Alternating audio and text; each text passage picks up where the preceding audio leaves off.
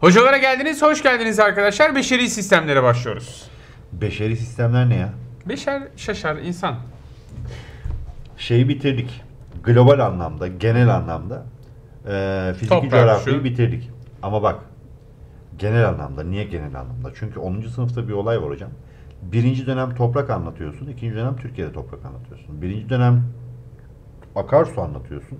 ikinci dönem Türkiye'de akarsu anlatıyorsun. Dolayısıyla şu an beşeri sistemden kastımız e, mesela Dünya nüfus geneli. anlatacağız, dünya geneli anlatacağız. Fakat bu bir daha dönecek, Türkiye'de nüfusa gelecek. Hı hı.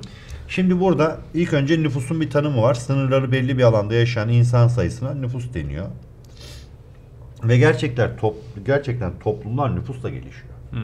Şimdi biz sürekli konuşuyoruz. İşte 3 çocuk yaptık, 5 çocuk yaptık, bir çocuk yaptık. Ya arkadaş, bilimsel çalışmayı yapan insan, tarımsal üretimi yapan insan, sanayiyi bulan, geliştiren insan ya tabii ki senin varlığınla bir şey oluyor. Dolayısıyla ülkeler nüfuslarıyla konuşuyorlar. Hı hı. Ama şunu söylemek istemiyorum. Bir ülkenin nüfusu ne kadar kalabalıksa ülke o kadar gelişmiştir. Ne kadar yanlış bir laf. Doğru. Doğru olarak değerlendiren ülkeler var. Çin Var. gibi mesela. İş gücünü ve Hindistan gibi iş Ha. gücünü kullanarak artık adamlar ilerliyorlar gerçekten. Şimdi o biraz derin bir mevzu. Çok yüzeysel bir yorum yapayım. Yezi geri geldiğinde. Eee, Ha pardon özür diliyorum. Oradaki çok nüfusu da ka- kabulleniyorum demek istemiyorum. Yok Burada yok Sadece hayır hayır. bunu Hayır hayır. Senin diyorum. söylediğin doğru. Fakat genel olarak öyle bir anlayış var. Hı hı. Onu yıkmak için şöyle bir şey söyleyeyim size. Ee, Çin şunun farkına vardı ki çok kalabalık bir nüfusa sahip, uzun yıllar tek çocuk politikası uyguladı. Kalabalık bir nüfusa sahip olmanın getirmiş olduğu bazı sıkıntılar var. Nüfusunuz bu kadar kalabalık ve gençken nüfusu alttan kuvvetli desteklemezseniz var olan nüfusunuz yaşlanıyor. Evet. Yaşlanınca işten ve çaptan düşünce ülke baş aşağı iniyor. Hı hı. Onun için dikkat et. Şeyden vazgeçti tek çocuk politikasında. Öyle mi? E tabii gidişat kötü hocam. Kalabalık ve yaşlı bir nüfusu nasıl doyurabilirsin? Kimi çalıştıracak? Gençleri daha çok çalıştırmayı Gence tercih ihtiyaç var tabii ki. Abi iki tarafı da sakat. Hı hı. Yani aşırı derecede nüfuslanmak da kötü bir şey. Çünkü sanayiye yapacağın yatırımı istihdama yani şey yapıyorsun. İşte okul yapıyorsun. Hı hı. Hastane yapıyorsun. Nüfusun çok az olması da kötü. Çalışacak adam bulamıyorsun. Onunla ilgili de hatırlat bu slaytın sonunda bu yapay zeka ile ilgili bir şey söyleyeceğim. Avrupa'nın çıkarttığı bir şeyle. Toplumlar mevcut nüfuslarıyla gelişiyorlar. Doğal kaynaklar nüfusa göre tüketilir. Politikalar nüfusa göre şekillenir. Bundan yıllar yıllar yıllar önce teknoloji bu kadar gelişmemişken ülkeler birbirine tabii ülkeler birbirine kafa tutacak oldukları zaman asker sayılarına bakarlar ve bir yerde okumuştum. Hala geçerli mi bilmiyorum arkadaşlar. Mevcut nüfusun %20'si savaşçı olarak alınır. 80 milyonluk bir ülkenin %20'si 16 milyon. Potansiyel 16 milyon asker çıkartır. Ha bu Türkiye'de 80 milyonda 80 milyondur. Ayrı mesele de. 16 milyon potansiyel asker çıkartır diye düşünür. Şimdi bir ülke düşün 80 milyon nüfusa sahip. Öbür ülke 65-70 milyon nüfusa sahip. Bunlar birbirine kafa tutabiliyor. Niye? 3 aşağı 5 yukarı asker sayıları aynı. E kılıç, mızrak hepsinde var. Ama artık öyle bir şey yok. Yok. Artık bir ülkenin gelişmişliği çeşitli gelişmişlik endeksi denilen bir sistem var. Çeşitli kriterlere bakıyor. Mesela satın alınma gücüne bakıyor. Ortalama yaşam süresine bakıyor. Toplumsal refaha bakıyor. Bunlara bakıyor. Onun için artık ihtiyacın kadar nüfus önemli. Kalabalık nüfus artık sırtta kambur. Türkiye'de ilk nüfus sayımı 1927 yılında yapılıyor. Takip eden yıllarda sonu 5 ve 0 ile biten yıllarda yapılıyor. Peki nüfus sayımı niye yapılıyor? Yani niye durduk yerde benim ülkemde kaç insan var bunu belirleyeyim. Nüfus sayımının bir eski mantığı bir yeni mantığı var. Eski mantık bir askeri potansiyeli belirlemek, iki vergi gelirlerini belirlemek. Yeni mantığı. Yeni mantıkta asker potansiyelini belirlemek yok. Öyle bir şey yok. Çünkü artık askeri sistemi belirleyen teknoloji. Hı hı. Anlatabildim mi? Yeni mantıkta bir ülkenin nüfus miktarını belirlersin kardeşim. Niye belirlersin? İşte sallıyorum 10 sene önceki nüfusla 10 sene sonraki nüfusu kıyaslarsın. Nüfus artış hızına bakarsın. Ve dersin ki ha benim nüfusu arttırıcı politika ya da azaltıcı politika uygulamam lazım. Bu önemlidir. Yani gelecek 10 seneki, 20 seneki hedeflerini de ona göre belirlersin. Şu hızla artış gerçekleşiyor. Tabii, tabii. Şu şu istihdamlara ihtiyacım tabii, olacak tabii, vesaire. Tabii gidişata ona göre bakarsın. İkincisi nüfusun yaş gruplarını belirlersin. Mesela Türkiye'de her 100 kişiden 50'si 25 yaşın altında. Bu iyi bir şey. Genç nüfus evet tabii ki. Potansiyeli değerlendireceksin. Değerlendirebilsek daha iyi olacak. Kesinlikle. Yani işsizlik daha düşük olsaydı, Hı hı. istihdam gelişseydi ki istihdam şu an gelişiyor. ısrarla söylüyorum. Hı hı. Ee, işsizlik de Türkiye değil dünyanın sıkıntısı. Yok o benim daha Ama- çok kastettiğim şu. Bu yaş grubundaki öğrencileri biz daha çok sınavlarla meşgul ediyoruz. Yani iş gücü olarak da kullanamıyoruz onları. Hocam iş gücü olarak kullanmak derken ben size bir şey söyleyeyim. Ülke Çocuklar ismi- bunu yanlış Aa biz işçi miyiz vesaire gibi algılamayın lütfen. Genç iş gücüne her zaman ihtiyaç vardır. Erken yaşta bu ortamda olmanız faydalıdır. Kesinlikle katılıyorum. Yani hepimiz tabii ki okuyacağız, tahsil yapacağız. Bugün siz Almanya'da ne bileyim işte bir torna tezgahının başına geçmek için bile üniversite okuyorsunuz. Almanya'yı Almanya yapanın meslek liseleri olduğunu biliyor musunuz Evet hocam? meslek liseleri zaten en çok ona Tabii. önem verilmesi Tabii, taraftarıyım tabii. ben de. Onun için bakın ne yazmış buraya? Nüfusun eğitim durumunu belirlemek. Evet. Sadece okur yazar oranını değil.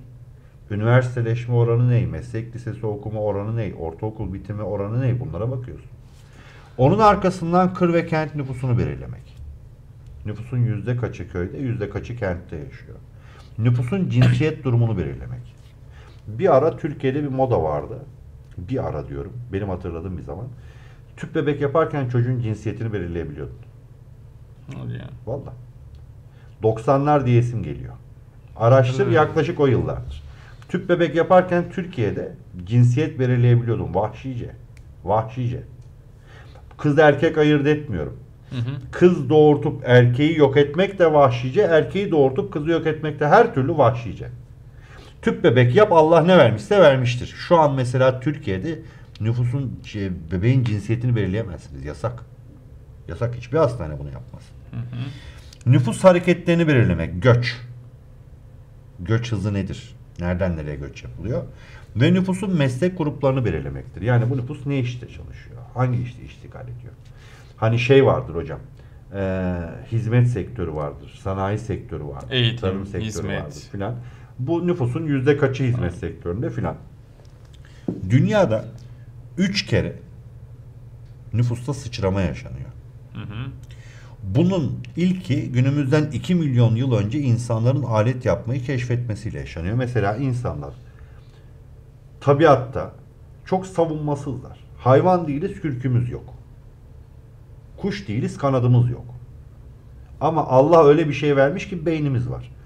İnsan beynini yavaş yavaş kullanmaya başladıkça taşı taşa vurup alet yapmaya başlıyor. Hayvanlara karşı kendini savunuyor mağara kovuklarına girerek, ateş yakarak hayvanlardan kendini uzak tutuyor. Ortalama ömrü biraz daha uzuyor. Burada ilk patlama yapılıyor, Hı yaşanıyor. hı. İkinci patlama yaklaşık 10 bin yıl önce yerleşik hayata geçişte yaşanıyor. İnsan tarımla uğraşmaya başlıyor. Köyler vesaireler falan kuruluyor. Çok kabaca anlatıyorum. Köyler vesaireler kuruluyor. Komün yaşam başlıyor. Bir arada yaşam başlıyor. Savunma sistemlerini oluşturuyorlar. Kaleler vesaireler falan yapıyorlar. Düşmanlara karşı savaşıyorlar. Kendilerini koruyorlar. Bu ikinci patlamaya neden oluyor. Üçüncü patlama bunların içerisinde en beteri. Sanayi devrimi. Sanayi devrimi sadece İngiltere'de Manchester'da işte buharla çalışan pamuk eğilme, çırçır makinesi yapılması değildir. Sanayi adı üstüne devrimi, devrim. Yani bir şeylerin kökten Makineler keşfediliyor. Her şey keşfediliyor hocam. Eczacılık sanayisi gelişiyor, tıp gelişiyor. Şimdi örnek veriyorum daha önce insan bir diş ağrısından antibiyotik olmadığı için ölürken artık antibiyotik alıyor ve günlük hayatına devam ediyor.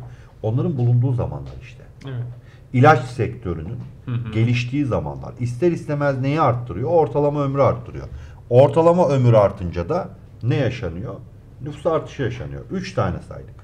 Bir, ilk insanın alet yapması. Hı hı. İki, yerleşik hayata geçiş. Üç, sanayi inkılabı. Sanayi inkılabı yani devrimi bunların içinde en müthiş olay.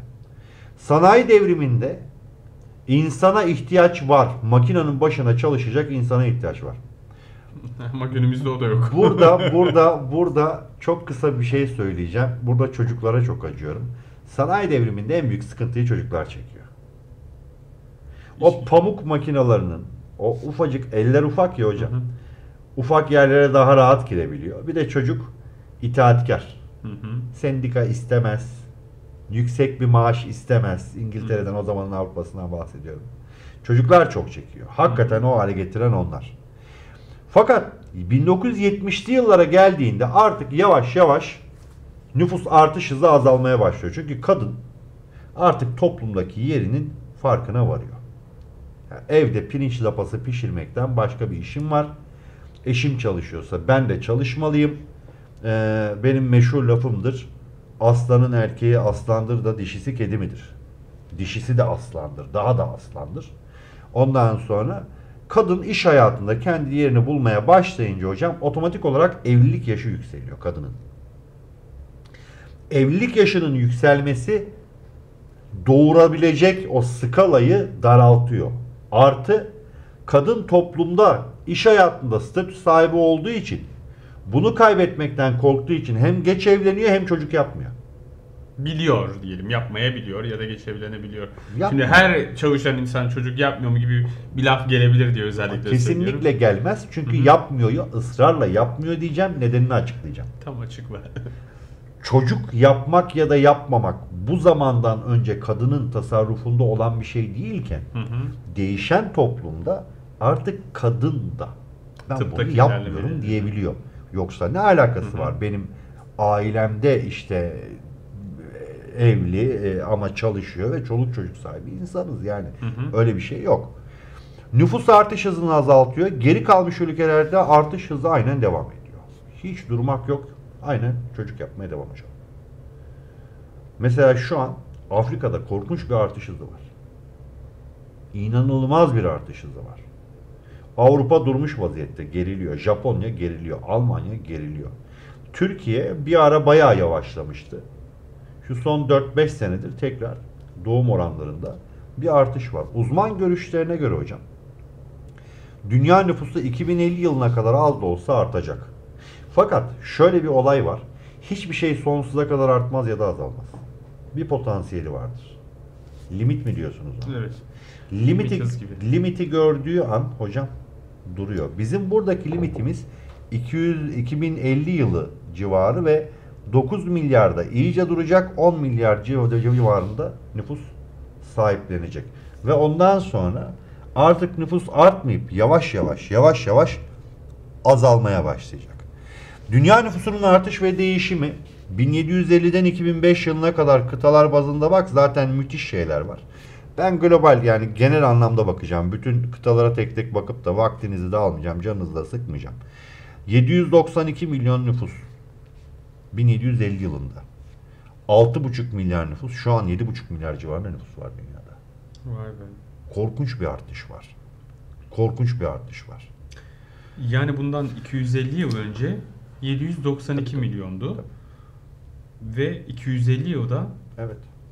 yaklaşık 9 katına çıktı. Tabii. 8-9 katı.